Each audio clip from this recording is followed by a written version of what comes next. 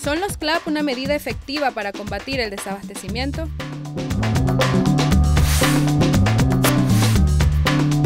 Bueno, los CLAP creo que son un avance en términos de la organización, digamos, que el Estado eh, tiene para llegar más efectivamente a, la, a, cada casa eh, de cada consejo comunal. Sin embargo, nosotros tenemos, de la Red Comuneros, tenemos unas observaciones a la organización de los CLAP. ¿no? Este, decimos que es un avance porque hasta ahora eh, el gobierno estaba, digamos, su política era los mercados a cielo abierto, donde nosotros propusimos inclusive que esos mercados a cielo abierto, bueno, igual podían generar bachaqueo, igual podían generar este, acaparamiento, porque no iba este, dirigido a la organización efectiva de nuestro pueblo. Pero los CLAP, eh, digamos, de alguna manera desconocen toda la trayectoria que ha tenido la organización popular. ¿Por qué digo esto? Porque eh, se basan en una nueva estructura, desconociendo de alguna manera la estructura que ya existe en las comunas, las vocerías que existen. Este, fijémonos que los CLAP establecen una nueva estructura con jefaturas donde nosotros ya desde la democracia participativa y protagónica, legado de nuestro comandante Chávez, hemos venido avanzando, ya no en jefes, sino en vocería, en, en delegación, en vocería delegada, en asamblea de ciudadanos y ciudadanas, y sentimos de alguna manera que eh, establecer jefaturas ahora por calle, por parroquia, es un, es un retroceso y un desconocimiento de todo lo que ha venido haciendo nuestro pueblo, de todo lo que hemos venido haciendo en la organización popular. Si el comandante Chávez dijo como no nada, si debemos este, retomar el golpe de timón, entonces nosotros decimos la comuna es el centro de la vida social, la comuna es el centro, es la célula fundamental desde cual construimos el socialismo, donde anidaría el socialismo, donde estamos construyendo día a día esos esfuerzos y donde cada comuna tiene un censo de su, de su población, de su familia, de cuántas familias, un censo inclusive de lo que consumen, de lo que consumimos en cada una de nuestras casas. O sea, hay mayor precisión eh, desde el punto de vista de la planificación. El otro elemento con los CLAP es lo que CLAP. Nosotros venimos diciendo que la guerra económica es producto de una lucha de clases, una lucha de clases donde la burguesía eh, está atentando contra el pueblo, no solamente contra el, contra el gobierno, no solo contra la revolución, contra el pueblo venezolano en general, para cambiar un gobierno y instaurar de nuevo, volver al neoliberalismo. Eso lo hemos venido diciendo, lo sabemos y estamos convencidos. Ahora, nuestro pueblo ha estado en lucha, ha venido luchando, resistiendo y a la ofensiva muchas veces. Entonces, ah, eh, ¿cómo decimos a nuestro pueblo ahora que esos mismos que están eh, protagonizando la guerra económica, esos mismos que están acaparando, que esos mismos que están eh, generando una inflación este, de los productos, el encarecimiento de los precios cada día, cada semana, esos mismos son los que nosotros le vamos a distribuir los alimentos a esa misma burguesía.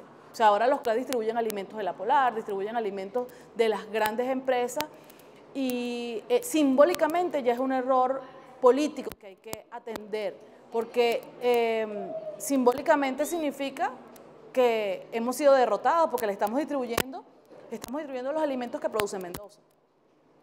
Y nos preguntamos nosotros por qué no distribuimos los, alimentos que producen nuestros campesinos y campesinas, por qué no distribuimos alimentos que, que producen nuestros pescadores y pescadoras, comuneros y comuneras. Si lo hemos estado haciendo nosotros incipientemente, efectivamente con muchas debilidades, eh, pero si nosotros como pueblo lo hemos estado haciendo, ¿por qué eh, en la programación de los CLAP no se sume? Si también lo propusimos, ¿no?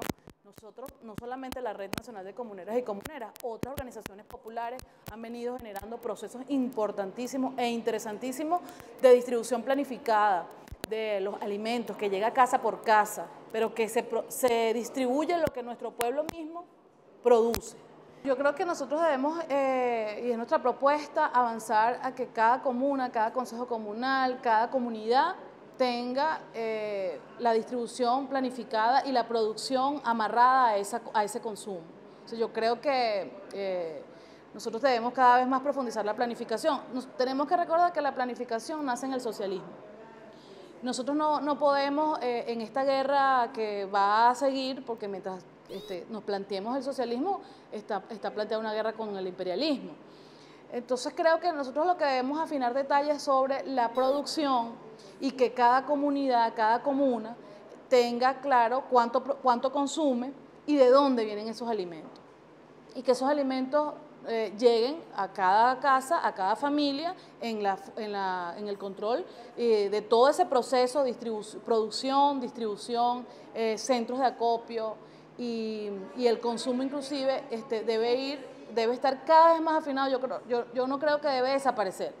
yo creo que los CLAP pueden, si tomamos en cuenta algunos elementos como los que yo mencionaba anteriormente, más otros más, Em, afinar esos detalles para que esa, ese proceso de abastecimiento se afine, se perfeccione y cada vez más podamos disponer de los alimentos y de avanzar hacia un cambio en los patrones de nuestro, de nuestro consumo. Eh, creo que, está, que el ejercicio del CLAS es un ejercicio interesante porque la gente está en nuestras comunidades, en nuestros consejos comunales, este, ha aprendido una cantidad de cosas importantes, otras ya veníamos ejercitándola y ejerciéndola desde el poder popular sin, antes de que se instauraran los CLAP. Pero yo creo que inclusive debemos más bien empujar a que toda la población, porque se ha dicho que las poblaciones de llamada clase media o las capas medias no no van a tener el acceso a los CLAP.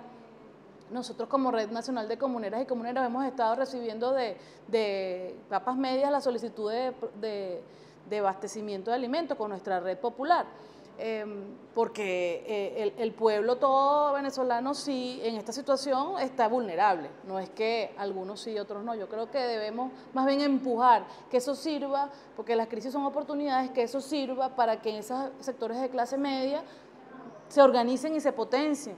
Y se están organizando consejos comunales, que se pueda, eh, que se pueda explicar a la población cuáles son eh, los, digamos, beneficios, que no me gusta la palabra, o cuáles son este, los elementos positivos que tiene que cada comunidad, sea cual sea su sector este, y su clase social a la que pertenezca o la capa social, esté organizado para abastecerse de alimentos, no solamente en este momento de crisis, que esta crisis sea un momento para avanzar hacia allá. Yo creo que más bien debe afinarse y mejorarse y, tomar en cuenta algunos otros elementos. ¿Y tú? ¿Qué opinas? Síguenos y deja tu comentario en nuestras redes sociales.